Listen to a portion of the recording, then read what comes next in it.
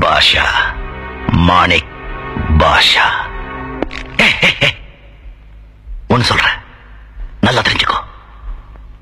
நல்லவங்களை ஆண்டவன் சோதிப்பான். கைவிட மாட்டான். கெட்டவங்களுக்கு ஆண்டவன் நிறைய கொடுப்பான்.